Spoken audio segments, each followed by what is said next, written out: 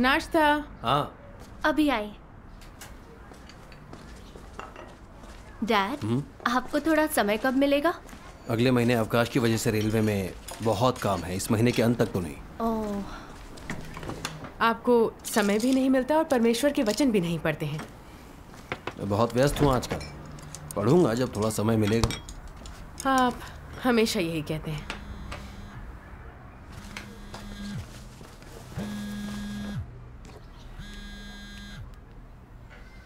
Hello? शिंजिंग जांग दंपति मुसीबत में है। हमें उनके घर से सामान हटाना होगा। आ, मैं अभी निकलती हूँ। कलीसिया का कोई मामला है मुझे जाना होगा। अपना ध्यान रखना। हाँ।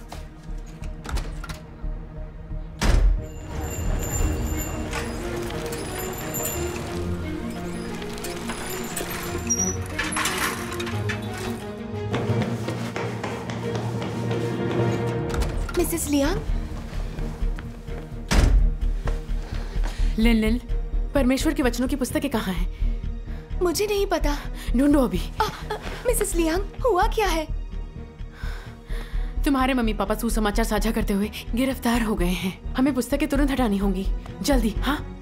जल्दी। हाँ मैं देखती हूँ कहाँ रखी है।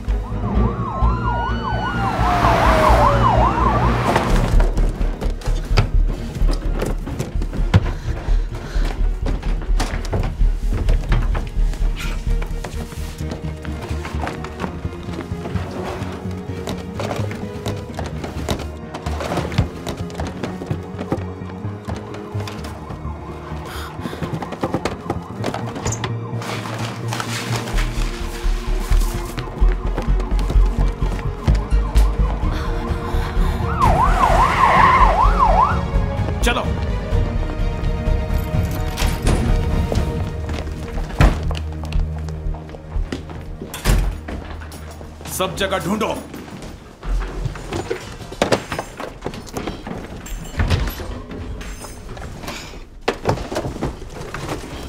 सर कुछ नहीं मिला।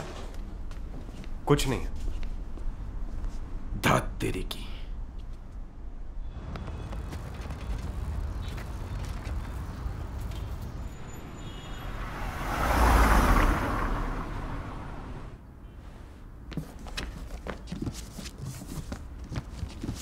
पिछले दिनों में आसपास की कलिसिया के कई भाई बहन गिरफ़्तार हुए हैं। मुझे ये योजनाबद्ध अभियान लगता है। ऐसा है तो हमें तुरंत ही सूचना भेजनी चाहिए। कुछ दिनों के लिए सभी कर्मियों को छिप जाना चाहिए। और अहम बात जो लोग नए हैं उनकी आस्था भी पक्की नहीं हुई। वो गिरफ़्तार हुए तो आस्था छोड़ देंगे। हमें उनका सिंचन करना होगा। उसके लिए मैं और समय निकाल लूँगी। ठीक है। वचनों की ये पुस्तकें हटा लें। ठीक है।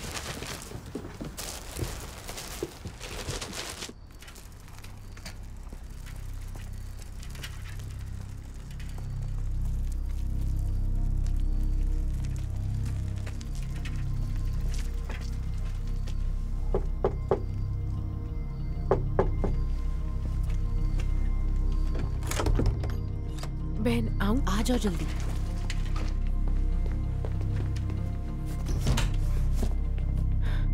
इनका ध्यान रखना होगा। ठीक है। यहाँ रहना ठीक नहीं। मेरे साथ आओ। जल्दी अपना सामान लो।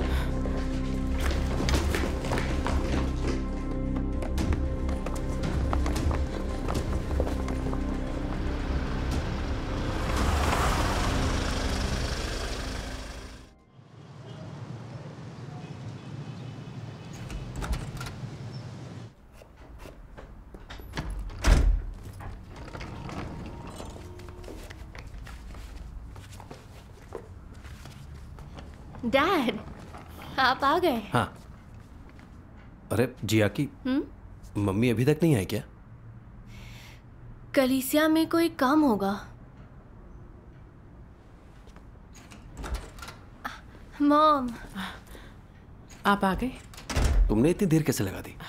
कलीसिया में थोड़ा काम निकल आया था। लाइए मैं रख देती हूँ। हाँ। स्कूल में सब ठीक है? हाँ ठीक ही है।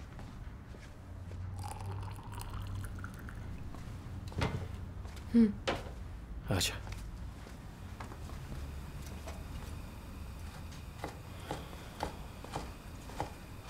अरे तुम्हें पता है सोच समाचार का प्रचार कर रहे मेरे सहकर्मी। झांग और उसकी पत्नी गिरफ़्तार हो गए। पता है। कम्युनिस्ट पार्टी विश्वासियों पर कड़ी कार्रवाई कर रही है। अगर विश्वासी रखना है तो घर में रहकर करो। सभाओं में जाने की ज़रूरत नहीं है। अरे क्या कह रहे हैं आप? सभाओं के बिना भी कोई आस्था होती है क्या? पार्टी तो बरसों से विश्वासियों को गिरफ़्तार कर रही है। बिना सभाओं में जाए सत्य कैसे सीखेंगे? कायर स्वर्ग के राज्य में नहीं जा सकते आप जानते हैं।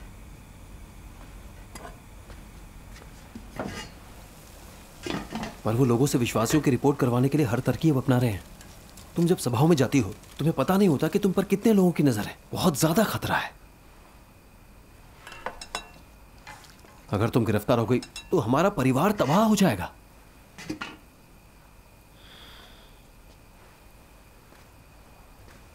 पता है मैं आस्था के लिए जोखिम क्यों उठाती हूँ? क्योंकि वो आ चुका है। हमारा उद्धारक सर्वशक्तिमान परमेश्वर, वो सत्य व्यक्त कर उद्धार कार्य कर रहा है। ऐसा अवसर बार बार नहीं आता। मैं परमेश्वर और सत्य का अनुसरण कर रही हूँ। आप मेरे रास्ते में मत आइए। मैं तुम्हारे रास्ते में नहीं आना चाहता। लेकिन कम्युनिस्ट पार्टी महादुष्ट है। वो लोग विश्वासियों को मौत के घाट उतार देते हैं। धीमे बोलिए।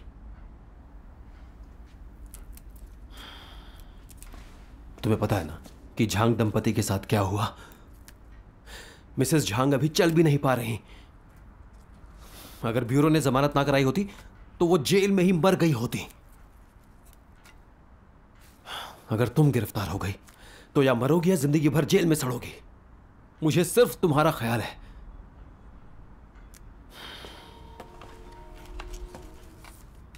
मैं ये सब अरसे पहले सोच चुकी हूँ। कम्युनिस्ट पार्टी के सत्ता में रहते विश्वासियों को यातना सहनी पड़ेगी और कुछ जाने भी जाएँगी।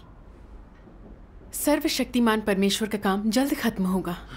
उसके अनुसरण के लिए जान हथेली पर रखनी होगी, नहीं तो मौका निकल जाएगा। मैं जानती हूँ यही सच्चा मार्ग है। मुझे यातनाओं का खौफ नहीं। मुझे मत समझाइए। अगर तुम्हें कोई खौफ नहीं है तो कम से कम मेरा तो ख्याल करो। अगर तुम जेल चले गई तो मेरा कितना अपमान होगा? मेरे दोस्त और सहकर्मी क्या सोचेंगे? मेरी इज़्ज़त खराब हो जाएगी।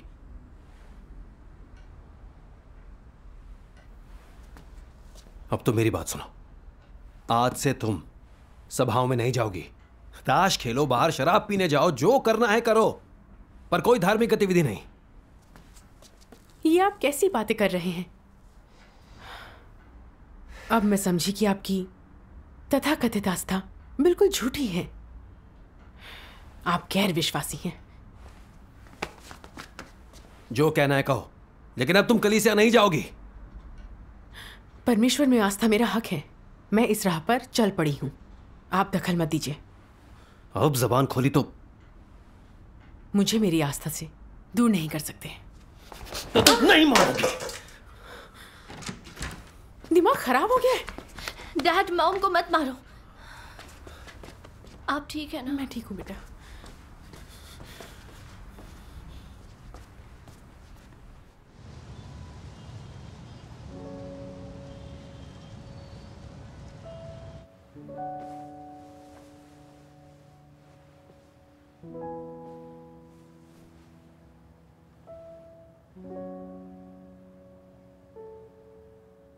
अगर वो मेरे रास्ते में आएँगे तो मैं सभाओं में जाकर अपना कर्तव्य कैसे निभाऊँगी? परमेश्वर, मुझे राह दिखा। मैं तेरी हर व्यवस्था के लिए तैयार हूँ।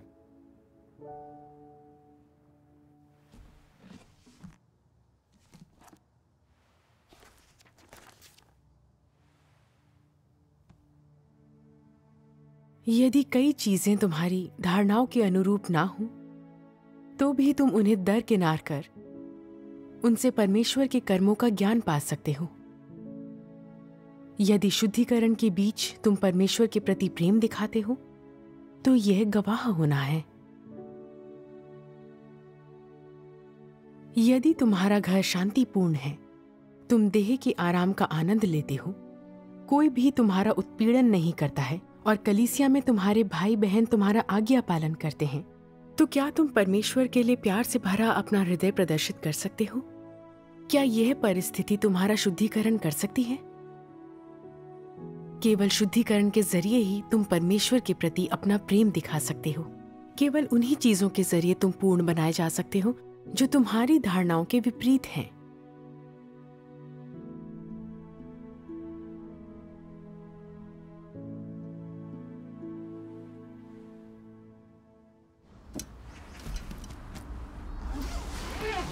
सुनो तुम किसी सभा में नहीं जाओगी। डैड जल्दी कीजिए वरना आपकी गाड़ी छूट जाएगी। तुमने सुना ना? देर हो रही है डैड। हाँ हाँ ठीक है। चलो। ठीक है। जा रहा हूँ मैं। Bye dad. बाय बेटा। मॉम मुझे कुछ बताना है। क्या हुआ? डैड ने कहा है आप पर नज़र रखूँ। आप सभा में जाएँ तो कॉल करूँ। हम्म, ऐसा करके मुझे यहूदा नहीं बनना है। इसलिए मैं उन्हें कुछ नहीं बताऊँगी। अच्छा है परमेश्वर के वचन पढ़ लेना। वक्त जया मत करना। ठीक है। मुझे बहुत काम है अगर मुझे आने में देर हो जाए तो कुछ बनाकर खा लेना। विश्वास शब्द किसको संदर्भित करता है? विश्वास, सच्चा भरोसा और ईमानदार हृदय है, जो मनुष्यों के पास होना चाहिए जब वे किसी चीज़ को देख या छू नहीं सकते हों। जब परमेश्वर का कार्य मनुष्य की धारणाओं के अनुरूप नहीं होता हो, जब यह उसकी पहुँच से बाहर हो। इसी विश्वास के बारे में मैं बातें करता हूँ। मनुष्यों को कठिनाई और शुद्धिकरण के समय में विश्वास की आवश्यकता होती है और विश्वास के साथ साथ शुद्धिकरण आता है। विश्वास और शुद्धिकरण को अलग नहीं कर सकते हैं। चाहे परमेश्वर कैसे भी कार्य करे, या तुम्हारा परिवेश जैसा भी हो, तुम जीवन का अनुसरण करने, सत्य की खोज करने और परमेश्वर के कार्यों का ज्ञान खोजने में समर्थ होगे और उसके क्रियाकलापों को समझने में, सत्य के अनुसार कार्य करने में समर्थ होगे। ऐसा करना ही सच्चा विश्वास रखना है। यह करना दिखाता है कि तुमने परमेश्वर में अपना विश्वास नहीं खोया है। सच्ची आस्था शुद्धिकरण परमेश्वर से सच्चा प्रेम करना। उसके प्रति संदेह रहित होना उसकी संतुष्टि के लिए सत्य का अभ्यास करना चाहे वह जो कुछ भी करे उसकी इच्छा के प्रति विचारशील होकर उसे गहराई से खोजना ही सत्य के अनुसरण में अडिग रहना है। आमीन। आमीन। परमेश्वर का धन्यवाद।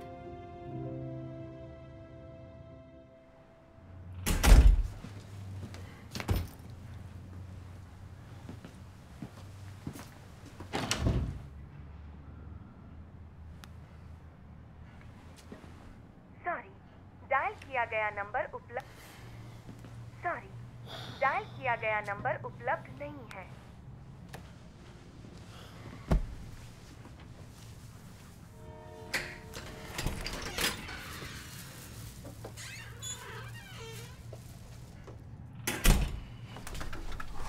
तुम सभा में गई थी?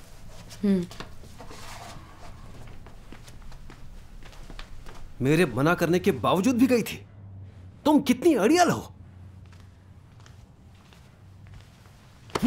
अगर नहीं जाओगी तो क्या बिगड़ जाएगा?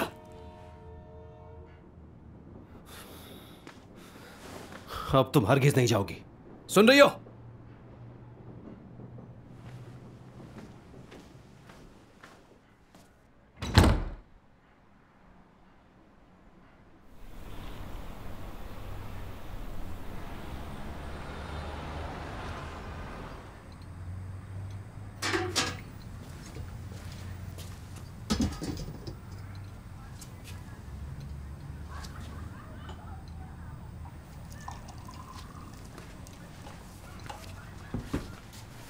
खाना रख दिया है। हाँ। जिया की स्कूल गई है?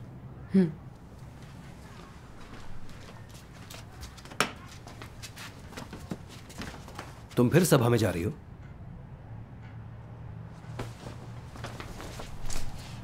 ये क्या कर रहे हो? हट जाओ। बेहतर है यहीं रहो। तुम कहीं नहीं जाओगी। आज जाकर दिखाओ।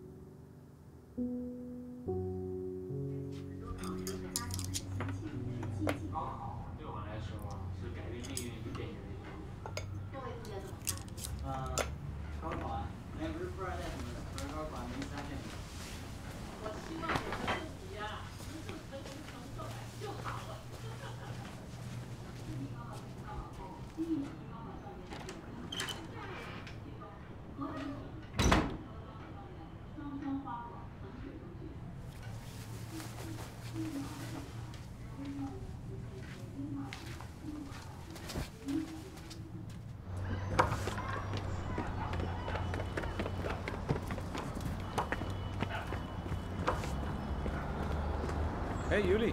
हेलो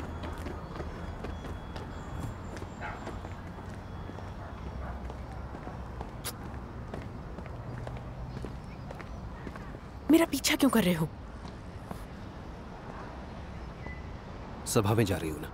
ठीक है जाओ मैं भी साथ चलता हूँ। खपती इंसान।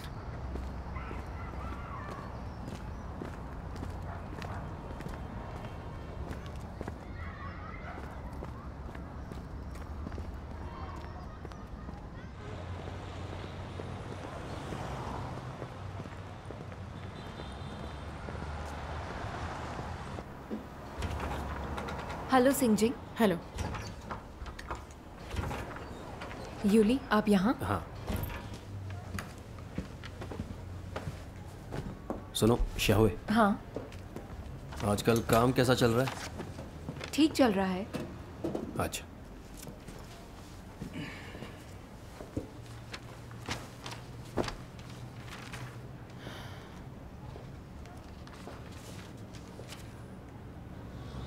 बस ये वाला। अच्छा ठीक है मैं आपके लिए पैक करा देता हूँ। मिलते हैं। ध्यान रखिए। जल्दी मिलेंगे। बाय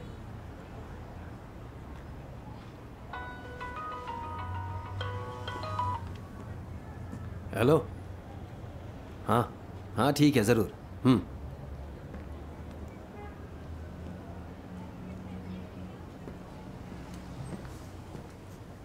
मैं थोड़ी देर के लिए बाहर जा रहा हूँ। सभा में मत जाना।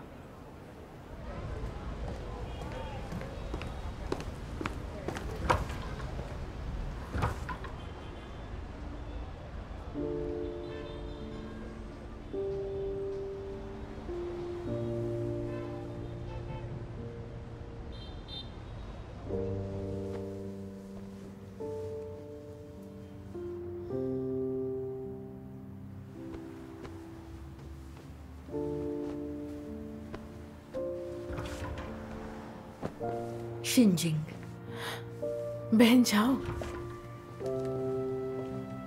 तुम सभा में नहीं आई तो सोचा मैं ही पता करूँ। आइए अंदर आइए।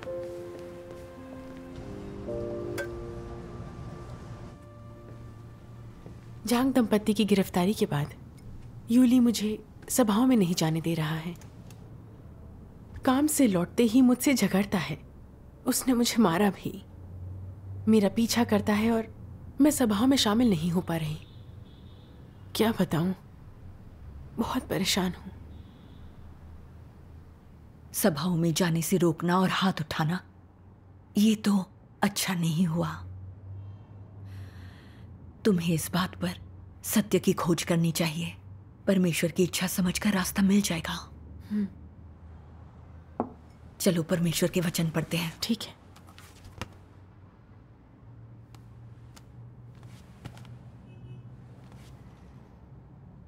परमेश्वर द्वारा मनुष्य के भीतर किए जाने वाले कार्य के प्रत्येक चरण में बाहर से यह लोगों के मध्य अंतः क्रिया प्रतीत होता है।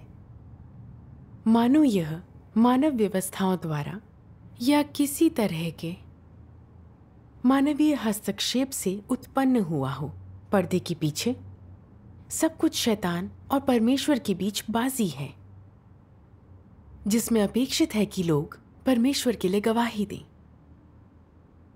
जब अयूब की परीक्षा हुई तब पर्दे के पीछे, शैतान ने परमेश्वर से एक दाव लगाया था। अयूब के साथ जो हुआ, वह मनुष्यों का कर्म और हस्तक्षेप था। परमेश्वर द्वारा तुम लोगों में किए गए कार्य के हर कदम के पीछे, शैतान की परमेश्वर के साथ बाजी होती है। इस सब के पीछे एक संघर्ष होता है। लोग जो भी करते हैं, उसमें उन्हें एक निश्चित कीमत चुकाने की आवश्यकता होती है। बिना कठिनाई के वे परमेश्वर को संतुष्ट नहीं कर सकते। वे इसके करीब भी नहीं पहुँचते। वे केवल खोखले नारे लगाते हैं। क्या ये खोखले नारे परमेश्वर को संतुष्ट कर सकते हैं? जब परमेश्वर और शैतान आध्यात्मिक क्षेत्र में संघर्ष करते हैं तो तुम्हें परमेश्वर को संतुष्ट कर उसकी गवाही किस तरह देनी चाहिए? तुम्हें यह सच पता होना चाहिए कि जो कुछ भी तुम्हारे साथ होता है, वह एक महान परीक्षण है। और ऐसा समय है जब परमेश्वर चाहता है कि तुम उसके लिए गवाही दो। हालाँकि ये बाहर से महत्वहीन लग सकती है, किंतु जब ये चीज़ें होती हैं तो ये दर्शाती हैं कि तुम परमेश्वर से प्रेम करते हो या नहीं करते। यदि करते हो तो गवाही देने में तुम अडिग रहोगे। यदि तुम उसके प्रति प्रेम का अभ्यास नहीं करते तो तुम सत्य को अभ्यास में लाने वाले इंसान नहीं हो। यह कि तुम सत्य और जीवन से रहित हो, यह कि तुम भूसा हो। परमेश्वर के वचन बहुत ही अच्छे और प्रबुद्ध करने वाले हैं। पति के दमन करने पर भी मुझे गवाही देनी होगी। यही परमेश्वर की इच्छा है। सही है। परमेश्वर लोगों को बचाने के लिए सत्य व्यक्त कर रहा है और शैतान आड़े आकर इसे कमज़ोर कर रहा है। आस्था के मार्ग में उत्पीड़न और कठिनाइयाँ तो आएँगी ही। स्वर्ग के राज्य का रास्ता आसान नहीं है। परमेश्वर के वचनों के मार्गदर्शन और सच्ची आस्था के बिना इस मार्ग पर टिकना संभव नहीं है। ये बात सच है। जब मैंने अंत के दिनों के कार्य को स्वीकारा तो मैं करीब दो दशकों से ईसाई थी। उस दौरान मैंने उत्पीड़न सहा। पुरानी कलीसिया के याजक वर्ग ने रोकने की कोशिश की। परिवार ने भी मुझ पर अंकुश लगाया और रिश्ता खत्म करने की धमकी दी। वो मेरे लिए बहुत मुश्किल वक्त था। मैं समझ नहीं पाई क्या प्रभु का स्वागत करना अच्छी बात नहीं है? तो फिर धार्मिक जगत मुझे बहिष्कृत क्यों कर रहा था? घर वाले मुझे यातना क्यों दे रहे थे? परमेश्वर के वचनों ने ही मुझे प्रबुद्ध किया और मुझे समझाया कि शैतान मेरे घर वालों की पाबंदियों और याजक वर्ग के हमलों और निंदा का इस्तेमाल करके मुझे अंत के दिनों के मसीह के अनुसरण से रोक रहा है। वो लोग मुझे धर्म में ही उलझा कर रखना चाहते थे, ताकि मैं उनकी मानू और नरक में जा पड़ूं। शैतान वाकई दुष्ट है। इस बात के एहसास से मुझे बहुत बल मिला। मैं शैतान की चालों में बिल्कुल नहीं फंस सकती, चूँकि मैंने सच्चा मार्ग पा लिया था। अब चाहे शैतान कितनी भी रुकावटें डाले, मैं जोखिम के लिए तैयार थी परमेश्वर की गवाही देने के लिए अडिग थी। आमीन। तो मैंने घर वालों से कह दिया ज़ोर ज़बरदस्ती से कुछ नहीं होगा। मैं इस मार्ग पर चल पड़ी हूँ। मैं ये हड्डियों का ढांचा परमेश्वर को सौंप रही हूँ। परमेश्वर का धन्यवाद। उसके बाद वे मेरे रास्ते की रुकावट नहीं बने। शैतान को अपमानित और पराजित होते देख मैंने परमेश्वर का आभार व्यक्त किया। परमेश्वर का धन्यवाद। परमेश्वर ने संकट में मेरा मार्गदर्शन किया। मुझे पता नहीं था कि आपने इतनी मुसीबतें झेली। आपने बहुत सहा है आपकी संगति मेरे लिए सहायक है। अंत के दिनों के मसीह का अनुसरण आसान नहीं। पर अब मैंने निश्चय कर लिया है कि मैं अपने पति के उत्पीड़न के बावजूद गवाही दूँगी। मैं घुटने नहीं टेकूँगी। परमेश्वर का धन्यवाद। परमेश्वर का धन्यवाद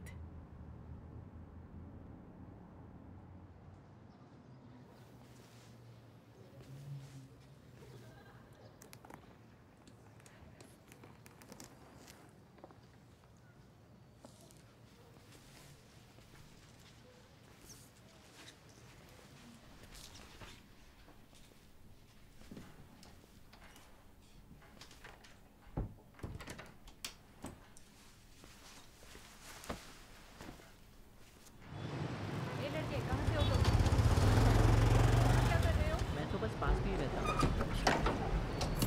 अरे घर ही जा रहा हूँ ठीक है जा सकते हो अ, हेलो मेरी बाइक खराब हो गई है। आप जरा देखेंगे? ज़रूर। आओ अंदर ले लो। हाँ ठीक है। इन दिनों तुम्हारी स्थिति कैसी है? उतनी अच्छी नहीं है। आप लोग शुरू कीजिए मैं नज़र रखता हूँ। ठीक है। ठीक है। गलियाँ रेड आर्म बैंड से भरी हैं। वो लोग कड़ी पहरेदारी कर रहे हैं। हाँ। विश्वासियों को गिरफ़्तार किया जा रहा है और स्थानीय निगरानी के ज़रिए लोगों से रिपोर्ट करवा रहे हैं। मिलना जुलना मुश्किल होता जा रहा है। हाँ कुछ दिन पहले मैं एक सभा में थी और किसी ने रिपोर्ट कर दी। अगर हमारे लोग उन पर नज़र न रखते तो हम गिरफ़्तार हो जाते। गिरफ़्तार होने की संभावना बहुत बेचैन कर देती है। सभा में भाग लेते हुए हम विवश महसूस करते हैं। हमारी आस्था उतनी पक्की नहीं है। सच हाँ। है। चलो परमेश्वर के वचन पढ़ते हैं। ठीक है। पृष्ठ 625 चूँकि परमेश्वर का कार्य उस देश में आरंभ होता है जहाँ उसका विरोध होता है, इसलिए परमेश्वर के कार्य को भयंकर बाधाओं का सामना करना पड़ता है। और उसके बहुत से वचनों को संपन्न करने में समय लगता है। इस प्रकार उसके वचनों के परिणाम स्वरूप लोग शुद्ध किए जाते हैं, जो कि कष्ट झेलने का भाग भी है।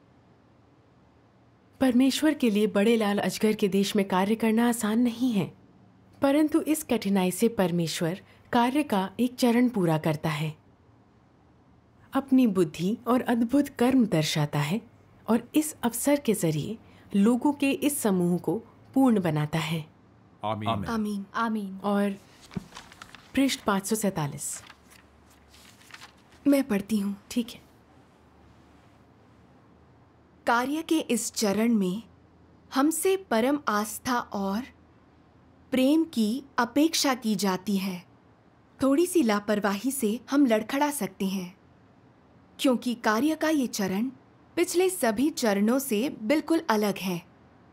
परमेश्वर मानव जाति की आस्था को पूर्ण कर रहा है, जो कि अदृश्य और अमूर्त दोनों है। इस चरण में परमेश्वर वचनों को आस्था में प्रेम में और जीवन में परिवर्तित करता है। लोगों को तब तक शुद्धिकरण की आवश्यकता है जब तक उनकी आस्था अयुब से बड़ी न हो जाए। किसी भी समय परमेश्वर से दूर जाए बिना अविश्वसनीय पीड़ा और सभी प्रकार की यातनाओं को सहना आवश्यक है। जब वे मृत्यु तक आज्ञाकारी रहते हैं और परमेश्वर में विश्वास रखते हैं तो परमेश्वर के कार्य का ये चरण पूरा हो जाता है। आमीन। आमीन। आमीन। परमेश्वर के वचन अद्भुत हैं पढ़कर बहुत अच्छा लगता है। अब समझ आया। गिरफ्तारी और उत्पीड़न हमारी आस्था को पूर्ण बनाने के लिए है। सच में। हाँ।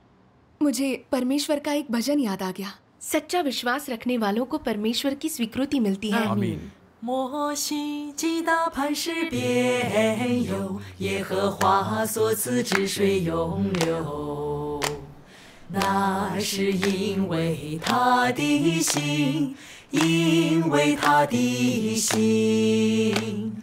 大卫能鼓瑟弹琴，赞美耶和华。而且心中充满欢喜，那是因为他的心。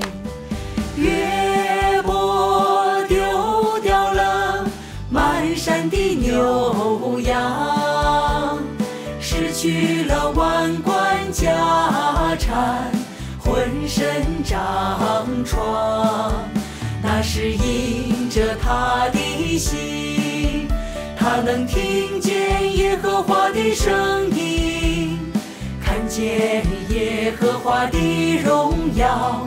那是因着他的心，彼得能跟随耶稣基督，是因着他的心。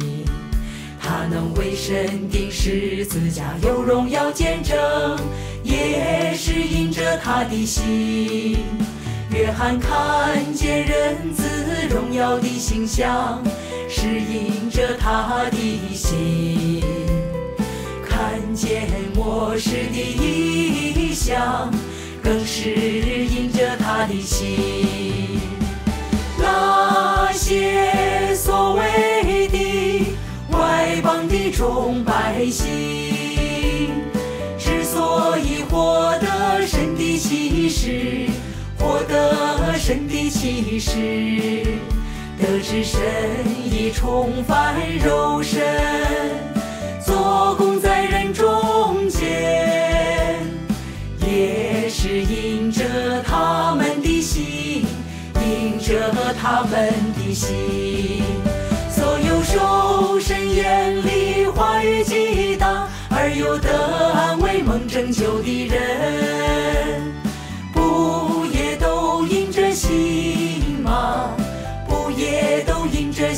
心吗？所有受神眼里话语激荡而又得安慰蒙拯救的人，不也都因着心吗？都因着心吗？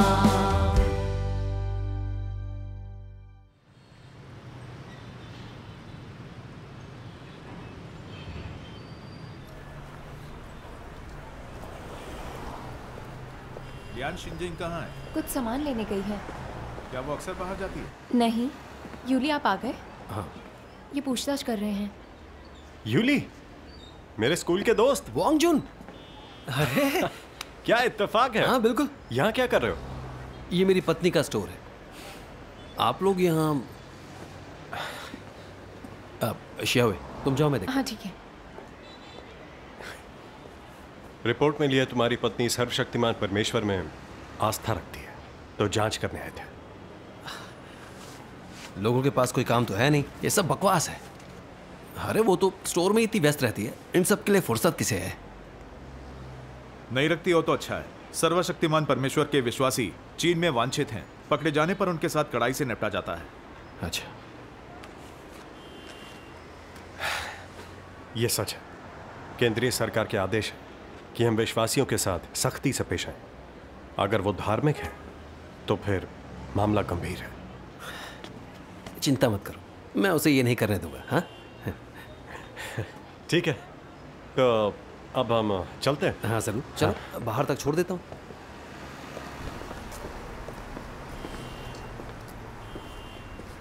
देखो यूली हाँ। उन पर नज़र रखना। अगर वो धार्मिक हुई तो पूरा परिवार फंस जाएगा। तुम चिंता मत करो। हाँ ठीक है मैं चलता हूँ। हाँ। बाय।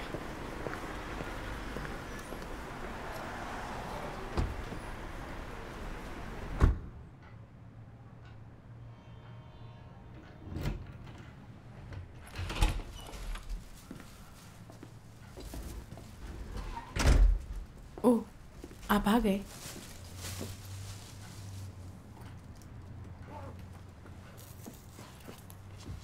तुम सभा में गई थी? हाँ गई थी। पुलिस तुम्हारे बारे में पूछने आई थी। अगर मैंने दखल नहीं दिया होता तो तुम गिरफ़्तार हो चुकी होती। तुम सभाओं में जाना बंद नहीं कर सकती? तो फिर मैं विश्वासी रहूँगी क्या? बंद करो ये बकवास।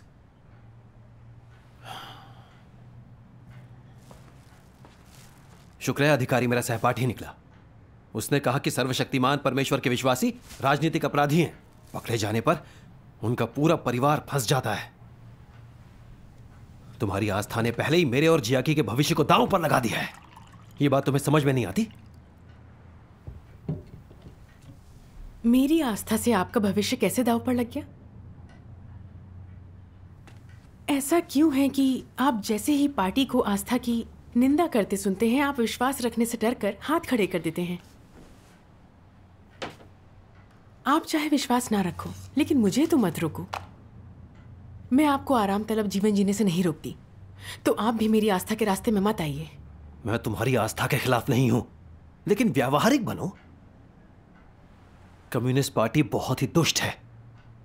सबको पता है वह विश्वासियों पर कड़ी कार्रवाई करके उन्हें गिरफ़्तार कर लेती है। घर के एक सदस्य की भी आस्था पूरे परिवार को दुखी करती है, बच्चे भी सजा पाते हैं। और यह सच्चाई है। अगर तुम गिरफ़्तार हुई तो तरक्की तो छोड़ो। मुझे नौकरी से ही निकाल दिया जाएगा। जियाकी को कॉलेज में दाखिला नहीं मिलेगा। क्या यह हमारे भविष्य पर असर पड़ना नहीं है? अगर तुम मेरी तरक्की के रास्ते में आई, मैं तुम पर कोई रहम नहीं करूँगा। सुन रही हो कि नहीं? मैं तुम्हें किसी भी कीमत पर आस्था का अभ्यास नहीं करने दूँगा। यूली, मैंने आपको कितनी बार कहा है? सर्वशक्तिमान परमेश्वर प्रकट होकर कार्य कर रहा है। केवल वही बचाए जा सकते हैं और राज्य में जा सकते हैं जो सर्वशक्तिमान परमेश्वर को स्वीकार करेंगे। उन्हीं का सुखद भविष्य और गंतव्य होगा। पर आप सुनते ही नहीं। आप कम्युनिस्ट पार्टी के उत्पीड़न से डरकर मुझे विश्वासी बनने से रोक रहे हैं। आपको एहसास भी है आप क्या कर रहे हैं? आपको परमेश्वर के विरुद्ध जाने से डर नहीं लगता? बहुत हो गया। लियान छिंजिंग लगता है तुम शराफत से नहीं मानोगी। अगर तुम फिर सभाओं में गई या सुसमाचार का प्रचार किया तो मैं तुम्हारी टांगे तोड़ दूँगा। आस्था रखने देने की बजाय मैं तुम्हें अपाहिज बनाकर तुम्हारी सेवा कर लूँगा। मैं कभी अपनी आस्था नहीं छोड़ूँगी। आस्था नहीं छोड़ोगी? कैसे नहीं छोड़ोगी? कैसे नहीं छोड़ोगी? कैसे नहीं छोड़ोगी? रखोगी आस्था। मुझे जाने दो। मुझे मार क्यों रहे हो? रखोगी आस्था।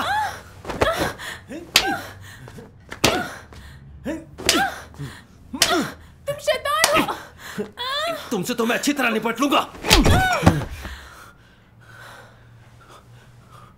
अगर अब भी आस्था रखोगी तो मैं तो मैं तलाक दे दूँगा।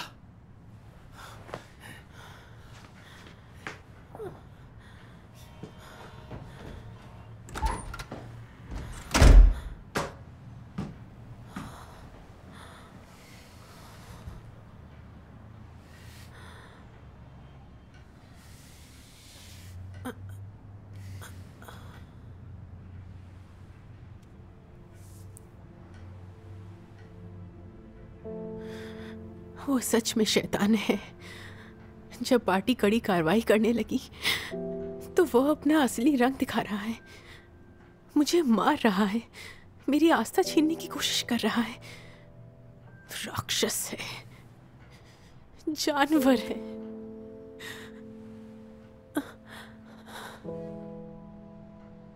हमें तलाक ले ही लेना चाहिए।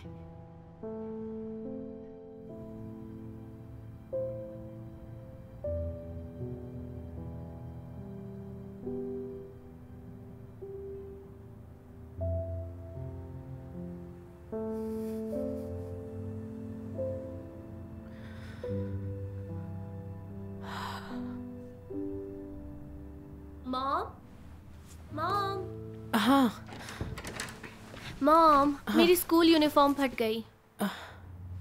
लाओ मैं सिल देती हूँ। मॉम ये क्या हुआ? कुछ भी तो नहीं। डैड ने आपको आज फिर मारा ना? ऐसा नहीं है। डैड पहले हमारी आस्था के साथ थे ना? वो अब ऐसे क्यों पेश आ रहे हैं?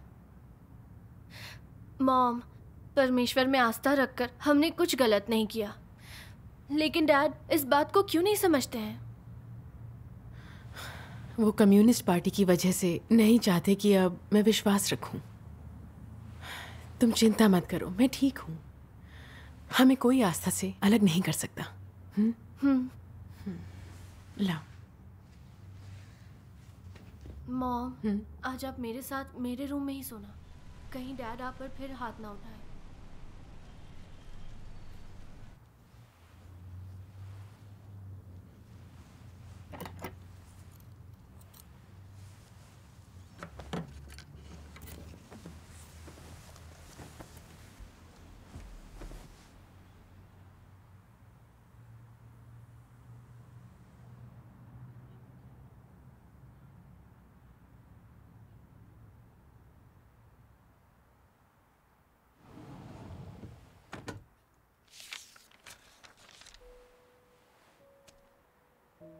तुम लोगों के बीच एक भी व्यक्ति नहीं है जो व्यवस्था द्वारा सुरक्षित है।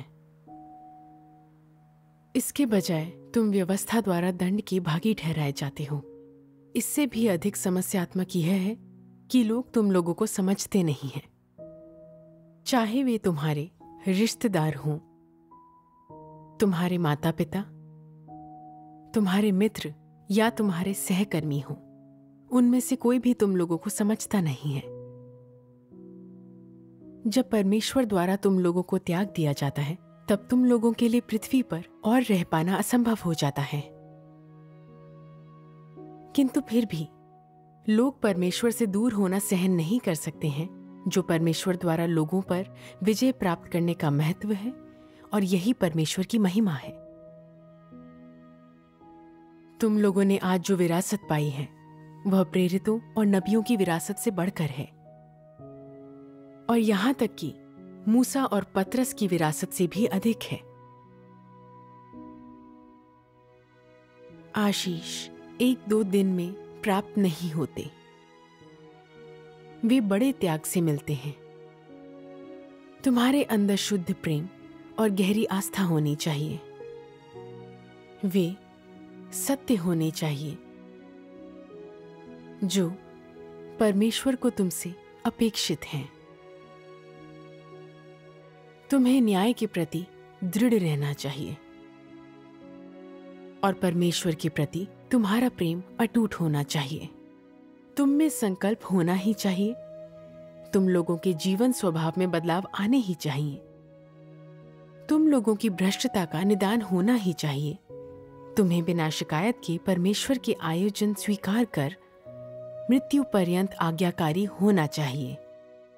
यह वह है जो तुम्हें प्राप्त करना ही है। यह परमेश्वर के कार्य का अंतिम लक्ष्य है और यह वह है जो परमेश्वर लोगों के इस समूह से चाहता है।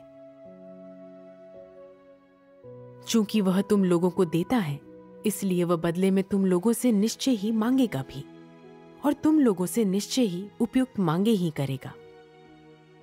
इसलिए परमेश्वर जो भी कार्य करता है, उस सब का कारण होता है। जो दर्शाता है कि परमेश्वर का कार्य बार बार उच्च मानक तय करके कठोर अपेक्षाएँ क्यों रखता है? यही कारण है कि परमेश्वर के प्रति विश्वास तुम में समाया होना चाहिए। संक्षेप में, परमेश्वर का समूचा कार्य तुम लोगों के लिए किया जाता है ताकि तुम उसकी विरासत के योग्य बन सको। यह परमेश्वर की महिमा से ज़्यादा तुम्हारे उद्धार के लिए है और इस मलिन देश में बेहद सताए गए लोगों को पूर्ण बनाने के लिए है। तुम लोगों को परमेश्वर की इच्छा समझनी चाहिए।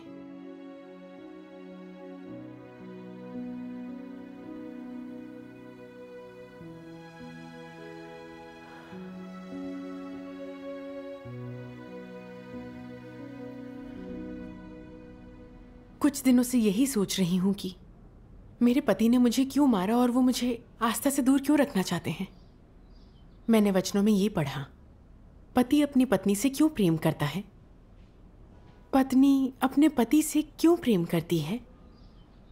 बच्चे क्यों माता पिता के प्रति कर्तव्यशील रहते हैं?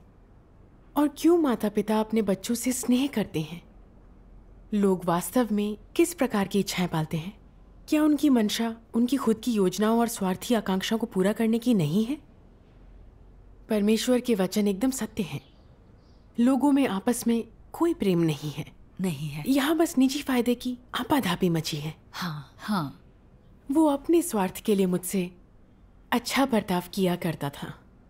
मैं उसके लिए बच्चा पैदा करने कपड़े धोने खाना बनाने और पैसा कमाने की मशीन थी। अब मुझमें आस्था है। मैं सृजित प्राणी का कर्तव्य निभाकर सही मार्ग पर चल रही हूँ। उससे डर है कि उसका भविष्य खतरे में पड़ जाएगा। उसके अपने हितों पर चोट हो रही है। इसलिए वह अपने जहरीले दांत दिखा रहा है। मुझे रोकने के लिए सब कुछ कर रहा है। मुझे दबा रहा है। मारपीट कर रहा है। अपना राक्षसी चेहरा दिखा रहा है। मुझे एहसास हो गया है कि हम दोनों अलग किस्म के इंसान हैं। वो अपने करियर के पीछे है। परमेश्वर विरोधी पार्टी का पिछलग्गू है। मेरा लक्ष्य है आस्था और सत्य की खोज। इसलिए हमारे रास्ते बिल्कुल अलग हैं। हाँ। परमेश्वर के कार्य का अनुभव किए बिना और उसके वचनों को पढ़े बिना मैं ये कभी समझ नहीं पाती। मैं यही मानकर चलती रहती कि वह मुझसे प्यार करता है। भावनाओं में बहती रहती तो परमेश्वर का अनुसरण कैसे करती? हाँ हाँ। अपने ही परिवार से यातना झेलकर मैंने अविश्वासियों का हैवानी चेहरा देख लिया है। और जान लिया है कि परमेश्वर का प्रेम ही सच्चा है।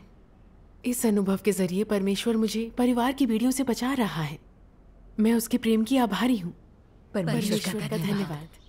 हम परमेश्वर के कार्य का जितना अनुभव करते हैं उतना ही सत्य को जानते हैं। अंतर्दृष्टि आती है। यही परमेश्वर का प्रेम है। आमीन। परमेश्वर का धन्यवाद।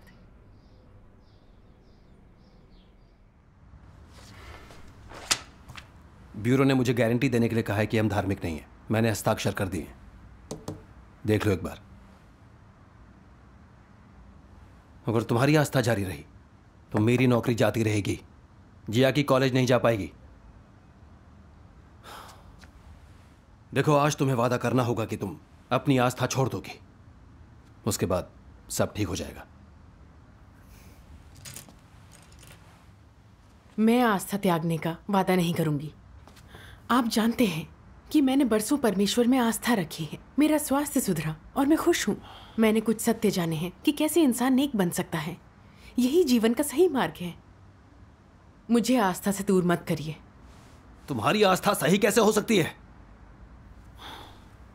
अगर तुम उस पर टिकी रही तो मेरी नौकरी चली जाएगी, सोच लो।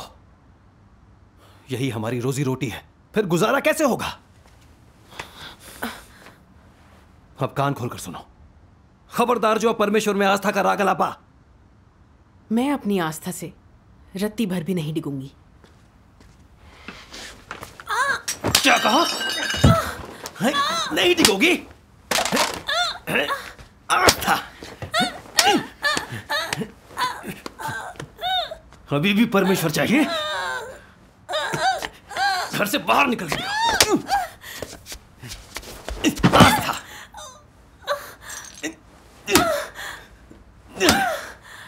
अभी भी आस्था।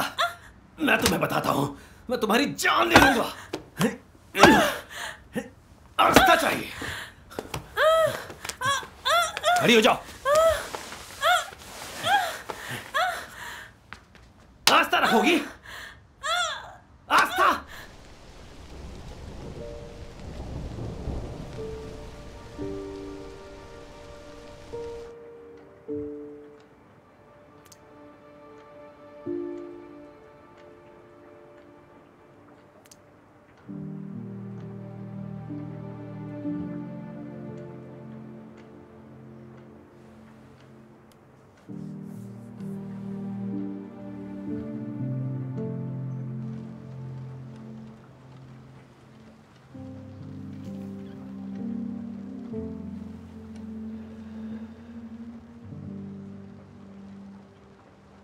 तुमसे आखिरी बार पूछता हूँ। तुम्हें परमेश्वर चाहिए या ये परिवार चाहिए? फैसला कर लो।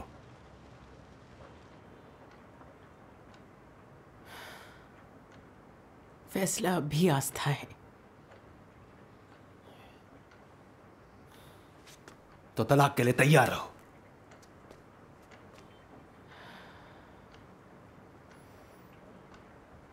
परमेश्वर में मेरी आस्था के कारण। पिछले कुछ सालों में तुमने मुझे दर्जनों बार पीटा है। और अब तलाक की धमकी दे रहे हो। तुम्हारा ज़मीन मर चुका है। तुम राक्षस हो। अब तुम्हारे साथ रहना नामुमकिन है। हमारे रास्ते अलग हैं। मुझे इतनी बार मारपीट क्यों करनी पड़ी? उसके बाद भी मैं तुम्हें सुधार नहीं सका। आखिर तुम चाहती क्या हो? तुम्हें आस्था चाहिए या फिर अपना परिवार चाहिए? अगर परमेश्वर चाहिए तो तलाक ही विकल्प है। फिर मेरी कोई दखल अंदाजी नहीं होगी।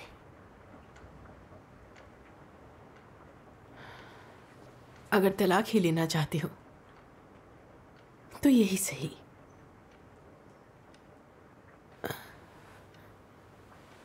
हमारे रास्ते अलग हैं। अब हम साथ नहीं रह सकते। तलाक देकर ही खत्म करो।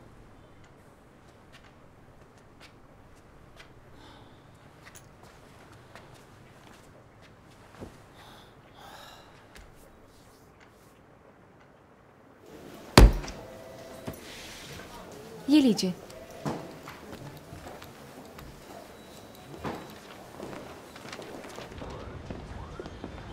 तुम्हें घर छोड़ने की ज़रूरत नहीं है। मैं वैसे भी ज़्यादातर बाहर रहता हूँ तो तुम उसी घर में रहकर जिया की, की देखभाल करो।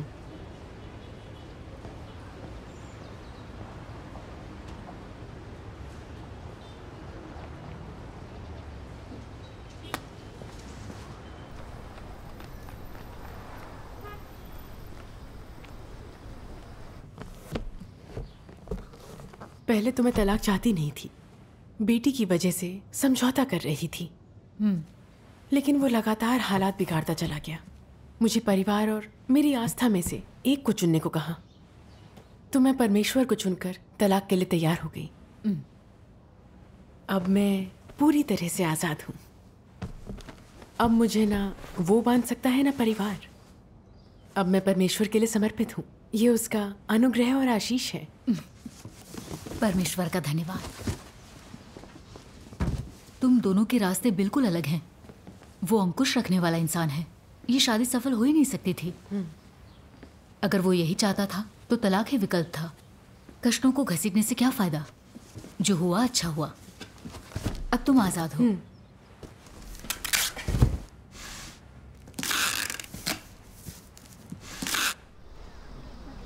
हाँ बस वो आती होंगी। उन्होंने बात तो की थी मुझसे। अच्छा है तुम सब यहाँ हो। हाँ। कुछ निर्देश आए हैं। नगर निगम रोकथाम समिति की बैठक से हर गली मोहल्ले और गाँव में घर घर जाकर विश्वासियों का पता लगाना है। हाँ। तुम लोग अपना अपना एरिया पकड़ लो और अच्छा काम करो। अरे वो लियांग शिंजिंग है ना? मैंने पता किया था। वो बिल्डिंग नंबर तीन में मिसेस झाओ को धर्म के बारे में बता रही थी। अच्छा। मतलब वो ज़रूर विश्वासी होगी। मैंने उसे हमेशा यहाँ आते जाते देखा है।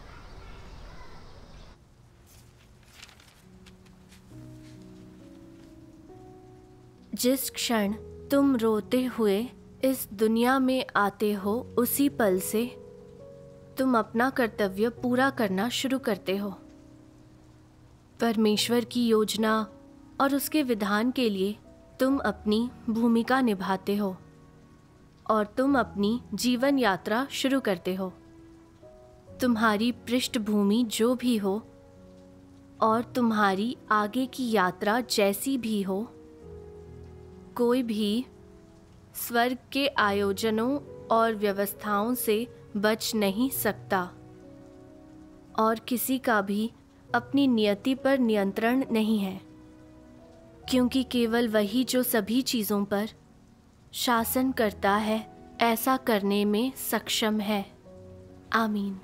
आमीन। चूँकि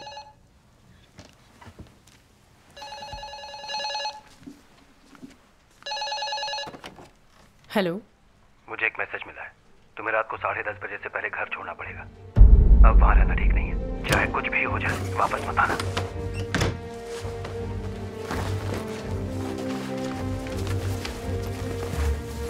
बेटा, अपना ध्यान रखना और वचन पढ़ती रहना। अगर कोई परेशानी आए तो प्रार्थना करना। मुझे अब कुछ दिन छिपकर रहना पड़ेगा। ठीक है बेटा?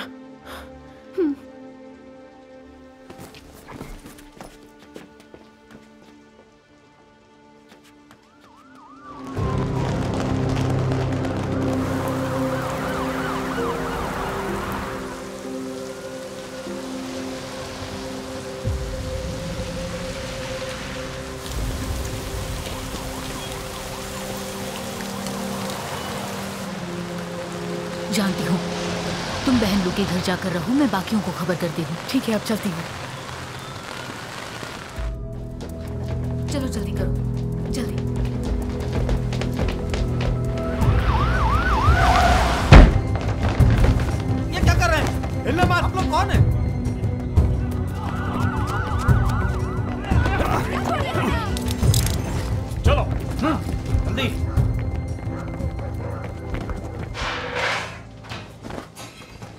ए लड़की। तुम्हारी मम्मी के आते ही हमें फ़ौरन खबर करना। अगर खबर नहीं की तो तुम भी अंदर जाओगी।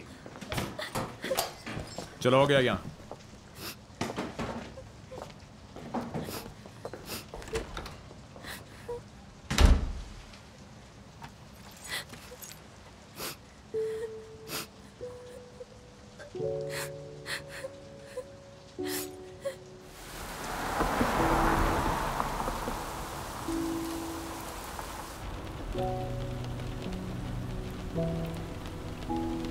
पता नहीं जिया की किस हालत में है।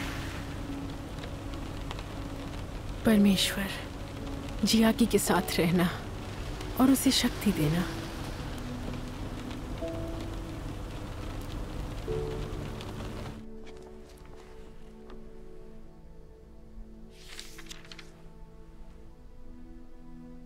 मैं उन सभी को सुख दूँगा जो मेरी इच्छा को समझते हैं। और उन्हें कोई पीड़ा या नुकसान नहीं होने दूँगा। इस समय मेरी इच्छा के अनुसार कार्य करना ज़रूरी है। जो ऐसा करेंगे, वे पक्का मेरा आशीष और सुरक्षा पाएँगे। कौन है जो मेरे लिए खुद को खपाकर अपना सर्वस्व भेंट कर सकता है? तुम सभी अधूरे मन वाले हो। तुम्हारे विचार इधर उधर घूमते हैं। तुम घर, बाहरी दुनिया, भोजन और कपड़ों के बारे में सोचते रहते हो। इस तथ्य के बावजूद कि तू मेरे सामने है, मेरे लिए चीज़ों को कर रहा है। अपने दिल में तू अभी भी घर पर उपस्थित अपनी पत्नी, बच्चों और माता पिता के बारे में सोच रहा है। क्या ये सभी चीज़ें तेरी संपत्ति हैं? तू उन्हें मेरे हाथों में क्यों नहीं सौंप देता है? क्या मुझमें तुम्हारी आस्था नहीं है? या डर है कि मेरी व्यवस्थाएँ तुम्हारे लिए अनुपयुक्त हैं? तुम हमेशा अपने लौकिक परिवार के लिए चिंतित और अपने प्रियजनों के लिए विलाप क्यों करते हो? परमेश्वर, मैं अपनी ममता भूलकर अपने बच्चे को तेरे हाथों में सौंपने को तैयार हूँ। तेरे आयोजनों और व्यवस्थाओं को समर्पित होकर अपना कर्तव्य निभाने को तैयार हूँ।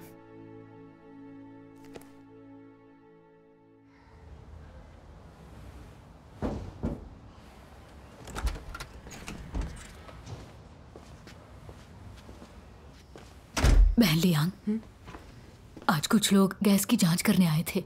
अजीब से लग रहे थे हर जगह ताका झांकी कर रहे थे। मुझसे पूछा भी मैं ईसाई हूँ क्या? वो ज़रूर कम्युनिस्ट पार्टी के जासूस थे। यहाँ रहना ठीक नहीं। हम पर पार्टी की नज़र है। हमें निकलना होगा।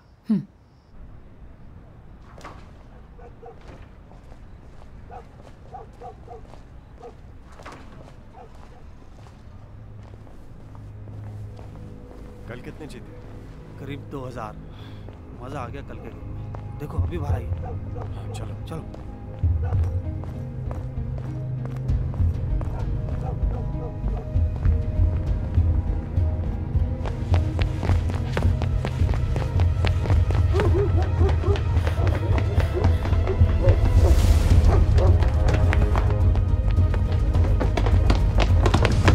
उस तरफ़ जाओ।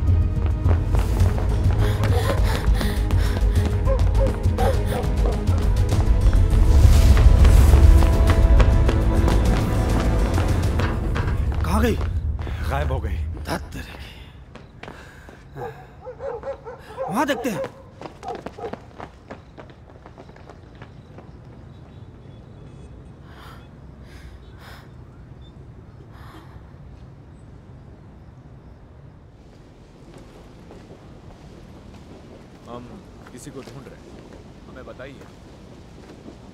हाल ही में लियांग शिंगजिंग को देखा है? नहीं। अगर देखेंगे तो ज़रूर खबर कर देंगे। वो चौथी मंजिल पर रहती है। जानती हूँ। कड़ी नज़र रखना। जी। अगर वापस आए तो फ़ौरन खबर करना। ज़रूर। आपके संपर्क में रहेंगे।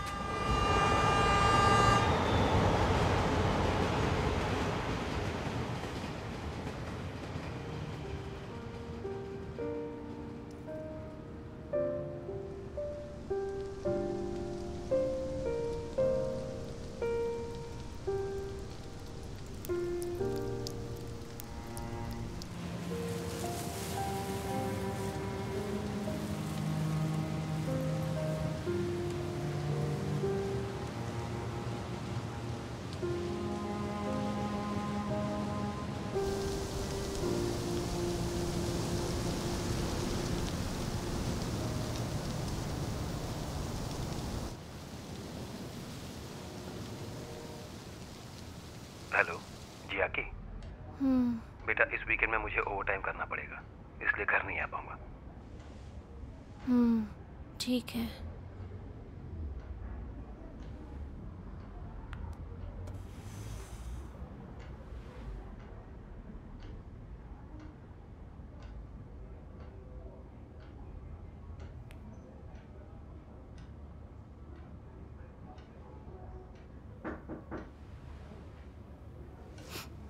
कौन है मैं हूँ मिसेस माँ दरवाज़ा खोलो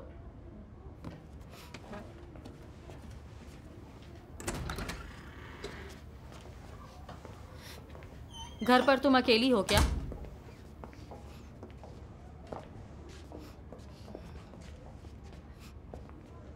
तुम्हारी मम्मी वापस आ गई? नहीं आई। मॉम की आस्था अपराध नहीं है। आप लोग उनके पीछे क्यों पड़े हैं? क्या? सरकार इजाज़त नहीं देती। इसीलिए आस्था एक अपराध है। बेवकूफ़ लड़की।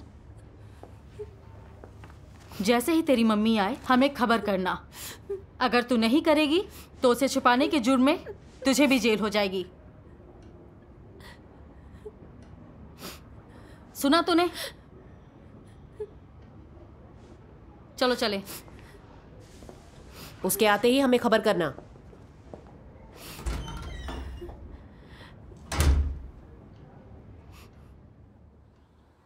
अब वो नियमित रूप से मिल सकते हैं। परमेश्वर का धन्यवाद।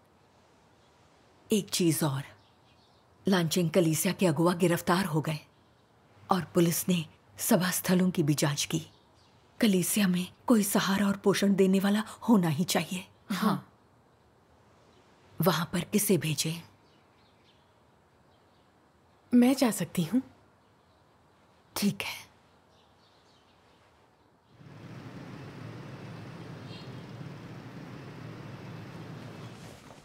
बहुत कम लोग जानते हैं कि बहनशु विश्वासी हैं। तुम यहाँ रह सकती हो। बढ़िया। लाई मुझे दीजिए। अगर कुछ और चाहिए तो मुझे बता देना। ठीक है।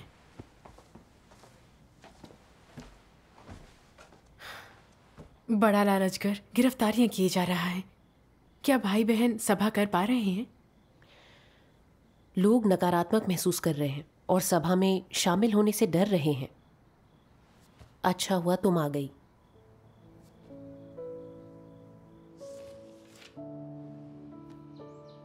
भविष्य में महान परीक्षण तुम्हारे ऊपर पड़ेंगे। किंतु आज यदि तुम परमेश्वर को सच्चे हृदय से प्रेम करते हो और चाहे कितने भी बड़े परीक्षण आए चाहे तुम्हारे साथ कुछ भी हो अगर तुम गवाही में अडिग रहकर परमेश्वर को संतुष्ट कर पाओ तब तुम्हारे हृदय को सांत्वना मिलेगी। फिर आगे चाहे कितने भी बड़े परीक्षण आए तुम निर्भय रहोगे।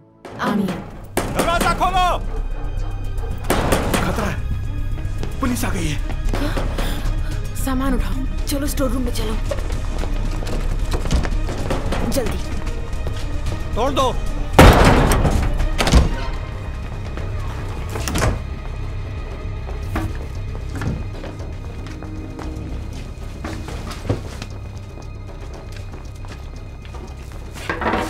इधर आ जाओ। जल्दी।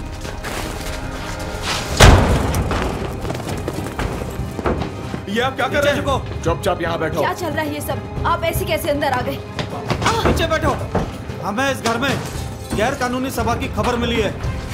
पीछे हो बहन आवाज़ मत करो।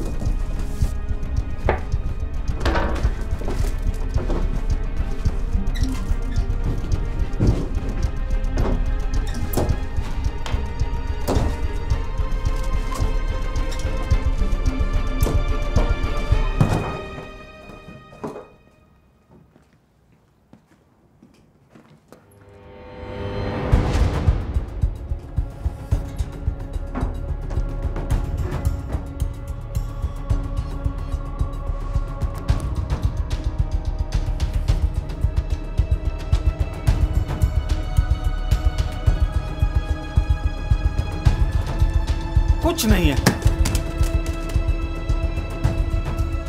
वापस चलो।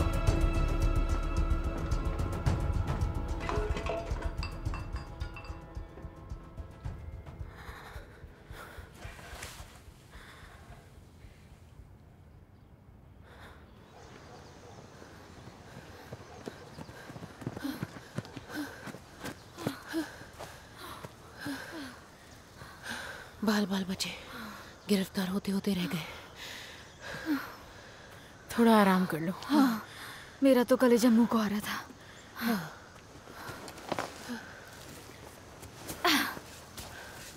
बहन हाँ। तुम तो बिल्कुल नहीं डरी। किसने कहा डरी नहीं? मेरा दिल अभी तक ज़ोर से धड़क रहा है। तुम ठीक हो ना? जब सब कुछ ठीक चल रहा था तो मुझे लगता था मुझमें आस्था है। लेकिन कुछ होते ही मैं इतनी कायर कैसे बन जाती हूँ? शायद मेरे अंदर आस्था की कमी है।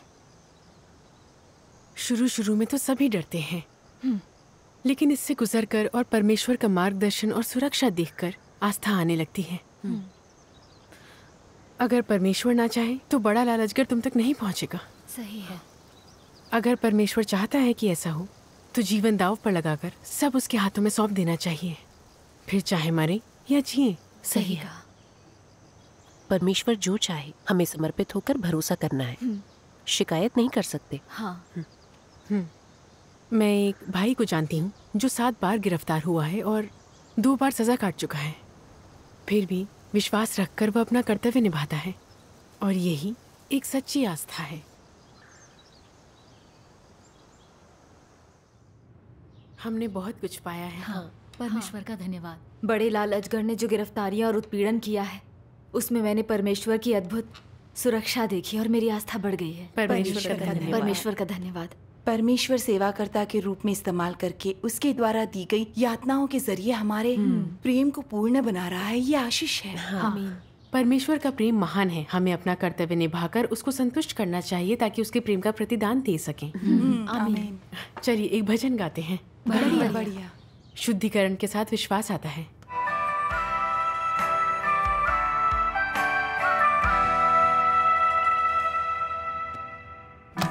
在星星之中才能看见神。你有信心，神就成全你。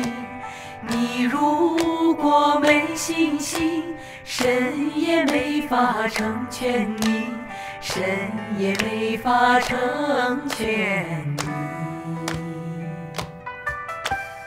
你在实际经历当中有信心，看见神的作为，神就向你显现，在里面开启，开启引导你。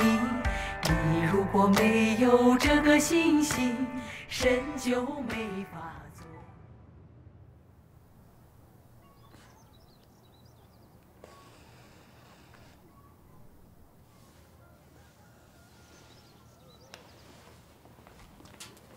ये लीजिए ओह लो जैकेट सिल दी ओह ये तो बहुत सुंदर है। जब ये फटी थी तो मैं परेशान हो गई थी। सिलने पर सुंदर लग रही है। आपका धन्यवाद। कोई बात नहीं। दादी दादी हुँ? देखो मिसेस लियांग की सिलाई। अच्छी है ना? बहुत अच्छी है।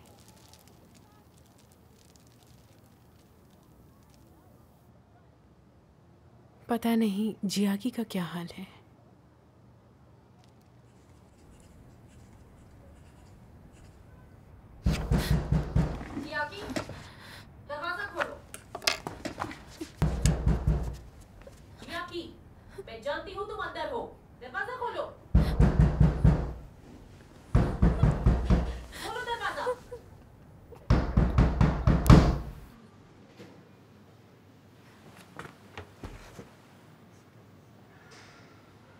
लगता है कोई नहीं है। चलो चलते हैं।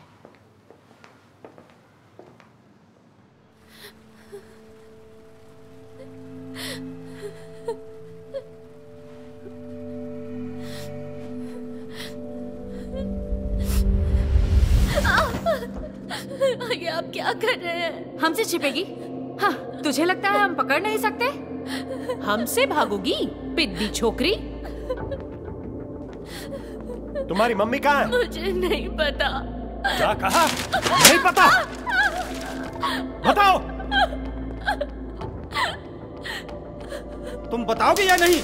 मुझे नहीं पता। देखता हूँ कैसे नहीं बताती।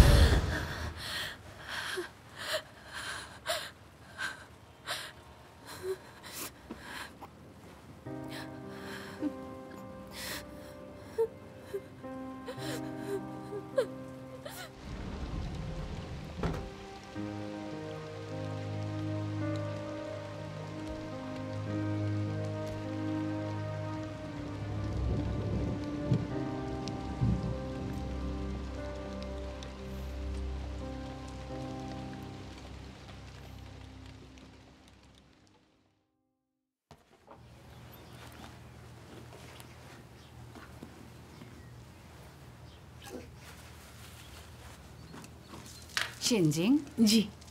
सहकर्मियों की बैठक से कब लौटोगी तुम? हम्म, तीन चार दिनों में। हाँ। अपनी बेटी से भी मिलूँगी। दो साल हो गए ना? हम्म, हम्म, वहाँ जरा ध्यान रखना। जी बिल्कुल।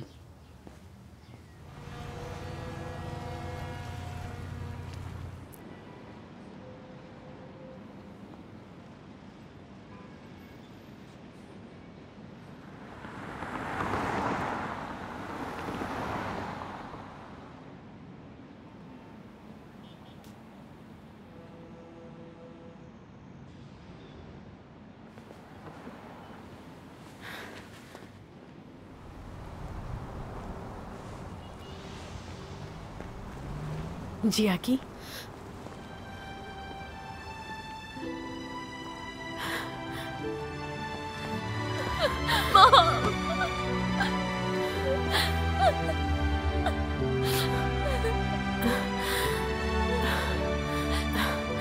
रो मत बेटा कोई बात नहीं।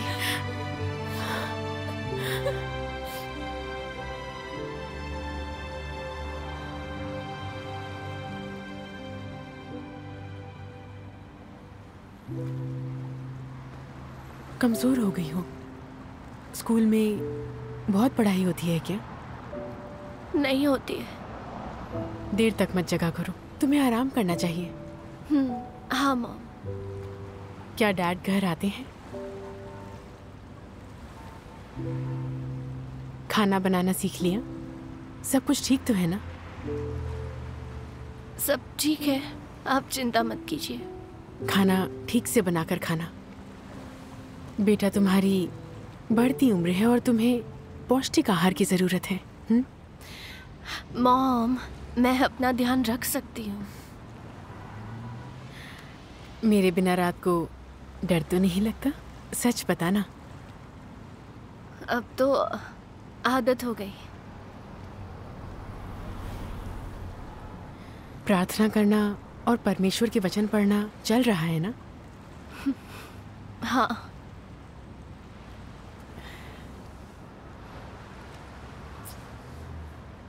अरे गर्दन पर ये सूजन कैसी? कुछ नहीं मॉम। बेटा क्या चल रहा है? सच बताओ हाँ? जी आकी बताओ भी बेटा हाँ?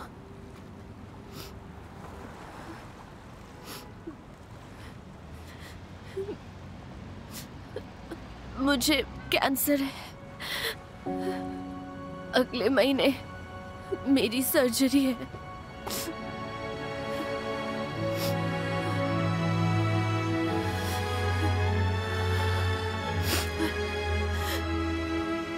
ये आखिर हुआ कैसे?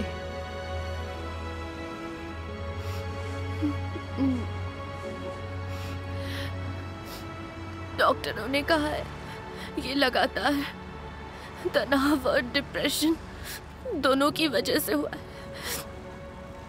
आपके जाने के बाद पुलिस और रेड आर्म बैंड आती रही और मुझे डरा धमका कर आपके बारे में पूछती रही। मेरे टीचर और सहपाठी सब मेरा मज़ाक उड़ाते थे। मुझे घर और स्कूल जाने से डर लगता था, मॉम। और कई बार तो मैंने बालकनी से कूदने की भी सोची। लेकिन डर गई थी कि मैं फिर आपसे कभी नहीं मिल पाऊँगी। मुझे डर लगता है।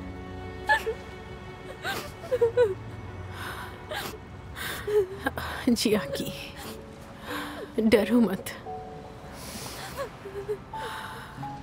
परमेश्वर हमारे साथ है। वही हमारा सहारा है।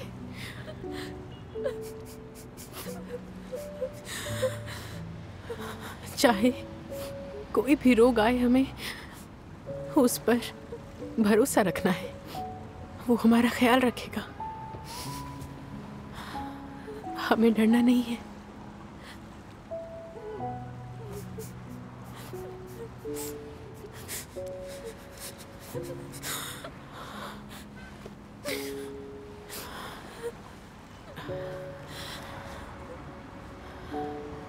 हम सर्वशक्तिमान परमेश्वर में विश्वास रखते हैं।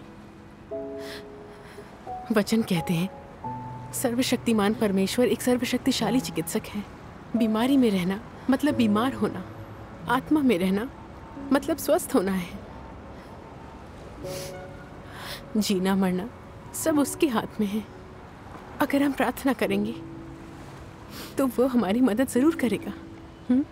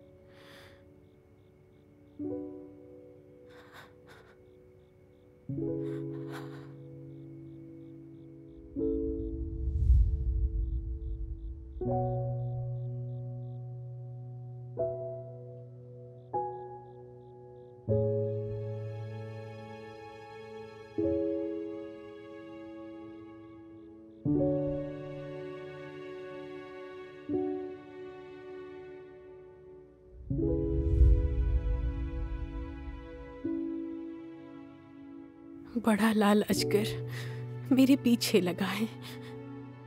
मेरी बेटी बीमार है और मैं घर भी नहीं जा सकती। मैं क्या करूँ?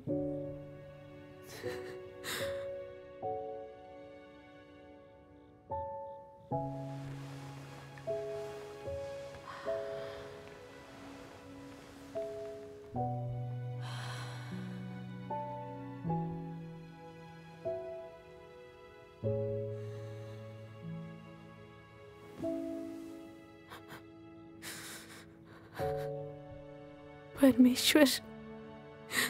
मैं मुसीबत में हूँ। अगर उसे कुछ हो गया तो मैं क्या करूँगी?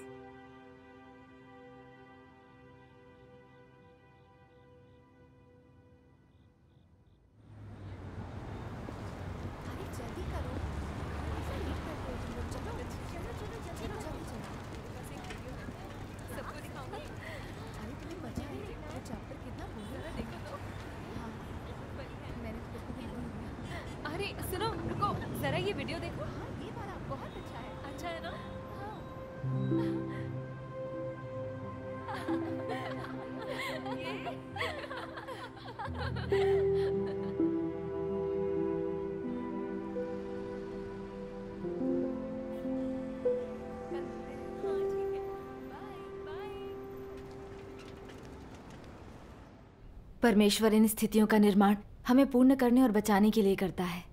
परमेश्वर का धन्यवाद। परमेश्वर का धन्यवाद। सुनिए बहन लियांग कुछ हुआ है क्या? नहीं मैं ठीक हूँ।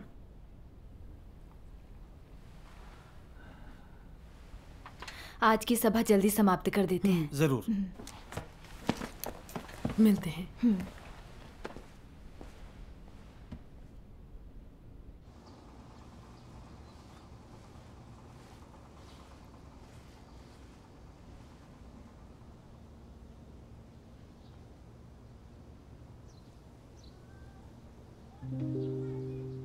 मैंने परमेश्वर के लिए अपने परिवार को त्याग दिया। उसे हमारी रक्षा करनी चाहिए। फिर मेरी बेटी को कैंसर कैसे हो गया? क्या परमेश्वर मेरी परीक्षा ले रहा है?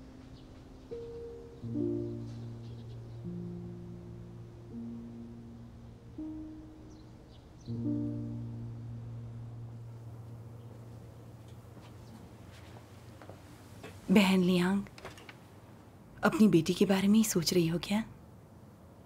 मुझे जियाकी की चिंता खाए जा रही है। पता नहीं परमेश्वर की क्या इच्छा है। उसे कैंसर कैसे हो सकता है? बेटी बीमार है और तुम घर नहीं जा सकती। ये बहुत ही दुखद है। मुझे परमेश्वर के इन वचनों का ख्याल आया।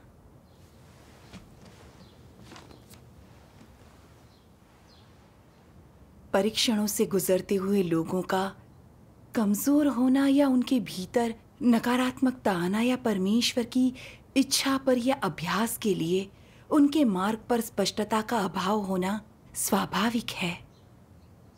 परंतु हर हालत में अयुब की ही तरह तुम्हें परमेश्वर के कार्य पर भरोसा अवश्य होना चाहिए और परमेश्वर को नकारना नहीं चाहिए। यद्यपि अयुब कमज़ोर था और अपने जन्म के दिन को धिक्कारता था। उसने इससे इनकार नहीं किया कि मनुष्य को सभी चीज़ें यहोवा ने दी थीं। और यहोवा ही उन्हें वापस ले सकता है। चाहे उसकी कैसी भी परीक्षा ली गई, उसने अपना विश्वास बनाए रखा। अपने अनुभव में, परमेश्वर के वचनों से तुम्हारा शुद्धिकरण चाहे जैसा भी हो, परमेश्वर को इंसान से अपने लिए विश्वास और प्रेम की अपेक्षा है।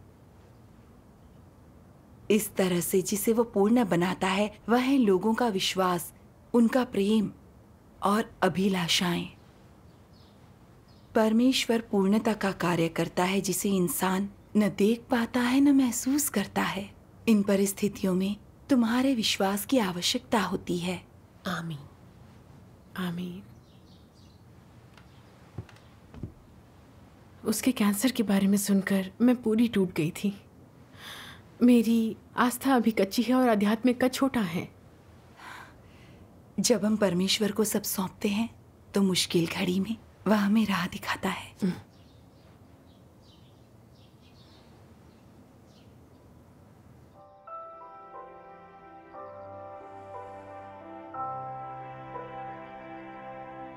जब तुम कष्ट सहते हो देखी नहीं सोचनी चाहिए। ना ईश्वर के खिलाफ शिकायत करनी चाहिए। जब ईश्वर खुद को छिपाता है तुम में अनुसरण करने का यकीन होना चाहिए। अपना प्यार बनाए रखना चाहिए। इसे मिटने या मरने मत दो। फ़र्क नहीं पड़ता, ईश्वर क्या करता? तुम्हें स्वीकारनी चाहिए योजना उसकी। उसके खिलाफ शिकायत की अपेक्षा देखो धिक्कारो।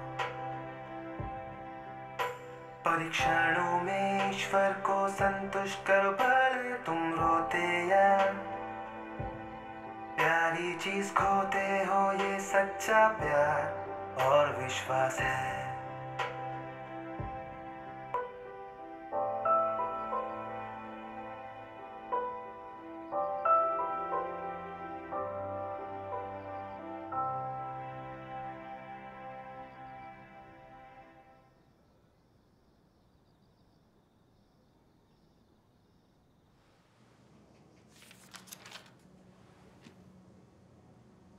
बहुत से लोग केवल इसलिए मुझ पर विश्वास करते हैं कि मैं उनको चंगा कर सकता हूँ।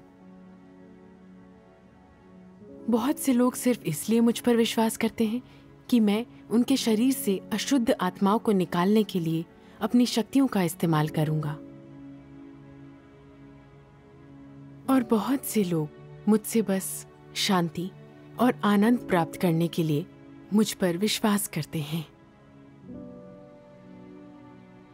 बहुत से लोग मुझसे सिर्फ़ और अधिक भौतिक संपदा मांगने के लिए मुझ पर विश्वास करते हैं। बहुत से लोग मुझसे सिर्फ़ इस जीवन को शांति से गुजारने और आने वाले संसार में सुरक्षित और स्वस्थ रहने के लिए मुझ पर विश्वास करते हैं। बहुत से लोग केवल नरक की पीड़ा से बचने के लिए और स्वर्ग के आशीष प्राप्त करने के लिए मुझ पर विश्वास करते हैं। बहुत से लोग केवल अस्थाई आराम के लिए मुझ पर विश्वास करते हैं और आने वाले संसार में कुछ हासिल करने की कोशिश नहीं करते। जब मैंने अपना क्रोध नीचे मनुष्यों पर उतारा और उसका सारा आनंद और शांति छीन ली? तो मनुष्य संदिग्ध हो गया। जब मैंने मनुष्य को नरक का कष्ट दिया और स्वर्ग के आशीष वापस ले लिए तो मनुष्य की लज्जा क्रोध में बदल गई। जब मनुष्य ने मुझसे खुद को चंगा करने के लिए कहा तो मैंने उस पर ध्यान नहीं दिया और उसके प्रति घृणा महसूस की। मनुष्य मुझे छोड़कर बुरी दवाइयों तथा जादू टोने की मदद खोजने लगा। इंसान ने मुझसे जो कुछ मांगा, वह सब जब मैंने वापस ले लिया तो सब लोग गायब हो गए। इसलिए मैं कहता हूँ कि मनुष्य मुझ पर इसलिए विश्वास करता है क्योंकि मैं बहुत अनुग्रह देता हूँ और प्राप्त करने के लिए और भी बहुत कुछ है।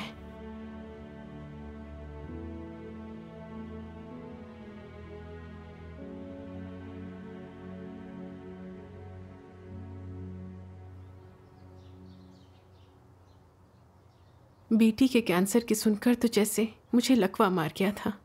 मैं कोई काम नहीं कर पाती थी। मन ही मन परमेश्वर से शिकायत करती। मैंने मुँह से ये नहीं कहा, तेरा ही काम कर रही हूँ तो तुझे तो मेरे परिवार की रक्षा करनी चाहिए। लेकिन मन में शक पैदा हो गया था, आखिर मेरी बेटी बीमार क्यों पड़ी? मुझे एहसास हुआ कि शिकायतों का मतलब है कि मैं परमेश्वर का विद्रोह कर रही थी। तो मैं समझी, मेरा सारा काम और त्याग दूषित है और मैं आशीष पाने की कामना से ग्रसित थी। बेटी को कैंसर ना हुआ होता तो मुझे लगता कि मैं बहुत अच्छा कर रही हूँ। परीक्षण ने मुझे पूरी तरह से उजागर कर दिया। परमेश्वर के प्रति मेरा प्रेम और समर्पण कहाँ है? मैं अनुचित और विवेक शून्य हूँ। इंसान कहलाने लायक नहीं हूँ। अपनी बेटी की बीमारी से तुमने सबक लिया है। यह अच्छी बात है। यह परमेश्वर का आशीष है। हाँ। मुझे परमेश्वर के यह वचन याद आए। परमेश्वर में अपने विश्वास में लोग भविष्य के लिए आशीर्वाद पाने की खोज करते हैं। यह आस्था में उनका लक्ष्य होता है। सभी लोगों की यही अभिलाषा होती है। लेकिन उनकी प्रकृति के भ्रष्टाचार का हल परीक्षण के माध्यम से किया जाना चाहिए। इंसान के जो जो आयाम अशुद्ध हैं, उनका पूरी तरह से शोधन किया जाना चाहिए। यह परमेश्वर की व्यवस्था है। परमेश्वर एक वातावरण बनाकर परिष्कृत होने के लिए बाध्य करता है, जिससे तुम अपने खुद के भ्रष्टाचार को जान जाओ। अंततः तुम उस बिंदु पर पहुँच जाते हो जहाँ तुम मरना, इच्छाओं को छोड़ना, उसके शासन का पालन करना चाहते हो। इसलिए अगर लोगों में बरसों का शुद्धिकरण नहीं है या कष्ट नहीं सहे हैं तो वे अपनी सोच और हृदय में दैहिक भ्रष्टाचार के बंधन से मुक्त नहीं हो पाएँगे। जिन भी पहलुओं में तुम अभी तक शैतान के बंधन में हो, जिन भी पहलुओं में अभी तक तुम्हारी इच्छाएँ और अपेक्षाएँ हैं, यही वह पहलू हैं जिनमें तुम्हें कष्ट उठाना होगा। केवल दुख से ही सबक सीखा जा सकता है, जिसका अर्थ है सत्य पाना और परमेश्वर की इच्छा समझ पाना। वास्तव में, कई सत्यों को कष्टदायक परीक्षणों के अनुभव से समझा जाता है। कोई भी व्यक्ति आरामदायक परिवेश या अनुकूल परिस्थिति में परमेश्वर की इच्छा नहीं समझ सकता। उसकी सर्वशक्तिमत्ता और बुद्धि को पहचान या उसके धार्मिक स्वभाव को समझ नहीं सकता। यह असंभव होगा। आमीन। आमीन। परमेश्वर के वचन एकदम स्पष्ट हैं और इंसान को बचाने का उसका कार्य भी व्यवहारिक है। जी हाँ। हाँ। पहले मैं अपनी आस्था के लिए बहुत मेहनत और त्याग करती थी। तो मुझे लगता था कि मैं परमेश्वर के प्रति बहुत समर्पित हूँ। लेकिन जब बड़े लाल अजगर के कारण मुझे भागना पड़ा तो मैं शिकायतें करने लगी। तब मुझे एहसास हुआ कि मेरे अंदर परमेश्वर के प्रति कोई भक्ति और समर्पण नहीं है। मैं सिर्फ़ आशीष के लिए अनुसरण करती थी कष्ट के लिए तैयार नहीं थी। इसके पीछे भ्रष्टता और व्यर्थ की इच्छाएँ थीं और उनका शुद्धिकरण केवल न्याय और ताड़ना से ही संभव था। हाँ। अगर मैं उनसे न गुजरी होती तो कभी अपना असली आकलन न कर पाती। राज्य के आशीषों पर ही हमेशा विचार करती रहती। यह विवेकहीनता होती। उस अनुभव से मैंने सीखा कि जीवन में आगे बढ़ने के लिए कष्ट और मुश्किलें कितनी लाभकारी हैं। ये तो सच है। मेरी बेटी के ज़रिए परमेश्वर मेरी परीक्षा लेकर मुझे उजागर कर रहा है और ये मेरे उद्धार के लिए ही है। ये उसका प्रेम है और मैं परमेश्वर की आभारी हूँ। आमीन। परमेश्वर के वचनों को पढ़कर मुझे बहुत प्रेरणा मिलती है। इन पर नज़र डालते हैं। लाओ, मैं पढ़ती हूँ। अयूब ने परमेश्वर से किसी लेन देन की बात नहीं की और परमेश्वर से कोई याचना या कोई मांग नहीं की। सभी चीज़ों पर शासन करने के, परमेश्वर के सामर्थ्य और अधिकार के कारण उसके नाम की स्तुति की। उसकी स्तुति अपने आशीषों या दुखों पर निर्भर नहीं थी। वह मानता था कि इंसान परमेश्वर से चाहे आशीष पाए या दुख, परमेश्वर के सामर्थ्य और उसका अधिकार कभी नहीं बदलेगा। और इस प्रकार व्यक्ति की परिस्थितियाँ चाहे जो हों, परमेश्वर के नाम की स्तुति की जानी चाहिए। मनुष्य को धन्य परमेश्वर की संप्रभुता के कारण किया जाता है, और वह कष्ट भी उसकी संप्रभुता के कारण ही पाता है। परमेश्वर का सामर्थ्य और अधिकार इंसान की सभी चीज़ों पर शासन करता है। मनुष्य की नियति के उतार चढ़ाव परमेश्वर के सामर्थ्य और अधिकार को दर्शाते हैं। और जिसका चाहे जो दृष्टिकोण हो परमेश्वर के नाम की स्तुति की जानी चाहिए। आमीन। अयूब ने अपने जीवन में यही अनुभव किया और जाना। अयूब के सभी विचार और कार्यकलाप परमेश्वर के कानों तक पहुँचे थे। और परमेश्वर के सामने आए थे और परमेश्वर द्वारा महत्वपूर्ण माने गए थे। परमेश्वर ने अयूब के इस ज्ञान को और ऐसा हृदय होने के लिए अयूब को खूब संजोया। इस हृदय ने हर समय, हर जगह परमेश्वर के आदेश की प्रतीक्षा की और खुद पर आने वाली हर एक चीज़ का स्वागत भी किया। अयूब ने परमेश्वर से कोई मांगे नहीं की। उसने स्वयं अपने से जो मांगा, वह यह था कि परमेश्वर की सभी व्यवस्थाओं की प्रतीक्षा करे, स्वीकारे और आज्ञा पालन करे। अयूब इसे अपना कर्तव्य मानता था और यह वही था जो परमेश्वर अयूब से चाहता था। क्योंकि अयूब का हृदय शुद्ध था और परमेश्वर से छिपा हुआ नहीं था और उसकी मानवता ईमानदार और दयालु थी। उसे न्याय और सकारात्मक चीज़ों से प्रेम था। केवल इस प्रकार का व्यक्ति ही, ऐसे हृदय और मानवता वाला परमेश्वर के मार्ग का अनुसरण कर सकता और परमेश्वर का भय मानने और बुराई से दूर रहने में सक्षम था। ऐसा व्यक्ति उसकी संप्रभुता देख सकता था, उसका अधिकार और सामर्थ्य देख सकता था, उसकी व्यवस्थाओं के प्रति आज्ञाकारी हो सकता था। ऐसा व्यक्ति ही परमेश्वर के नाम की सच्ची स्तुति कर सकता था। क्योंकि वह जानता था कि सब कुछ परमेश्वर के हाथ में है, उसे आशीष या आपदाओं की चिंता नहीं थी। उसे पता था मनुष्य की चिंता मूर्खता, अज्ञानता, तर्कहीनता की निशानी है, और सभी चीज़ों के ऊपर परमेश्वर की संप्रभुता के तथ्य के प्रति संदेह का और परमेश्वर का भय ना मानने का संकेत है। अयूब का ज्ञान ठीक वही था जो परमेश्वर चाहता था। आमीन। आमीन। अयूब की आस्था अटूट थी। वह अच्छी तरह समझ गया था कि उसे मेहनत से जो कुछ भी मिला है वह परमेश्वर ने दिया है। इसीलिए वह कह पाया कि परमेश्वर देता है परमेश्वर ही लेता है और प्रभु का नाम ही धन्य है। अयूब से तो मेरी कोई तुलना नहीं है। क्या मेरी बेटी का कैंसर परमेश्वर की अनुमति से नहीं हुआ? मुझे इस बात का अंदाज़ा क्यों नहीं था कि इसमें परमेश्वर की ही इच्छा निहित है? मेरी आस्था पक्की नहीं है। अब प्रार्थना और परमेश्वर के वचनों के पाठ के ज़रिए मैं उसकी इच्छा को समझ गई कि मेरी बेटी की नियति परमेश्वर के हाथ में है। सर्जरी चाहे जैसी भी रहे, लेकिन मैं उसकी व्यवस्थाओं का पालन करूँगी। अपना काम करूँगी और उसके प्रेम का प्रतिदान दूँगी। परमेश्वर का धन्यवाद। परमेश्वर का धन्यवाद।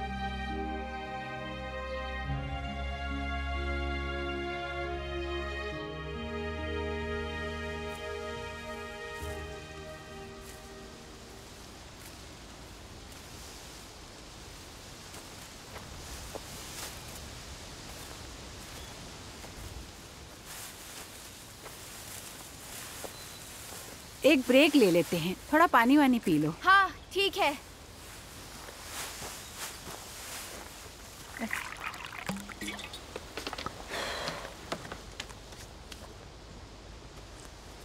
तुम्हारे घर से चिट्ठी आई है। सोचा शायद ज़रूरी हो तो यहीं ले आई। हाँ ठीक है।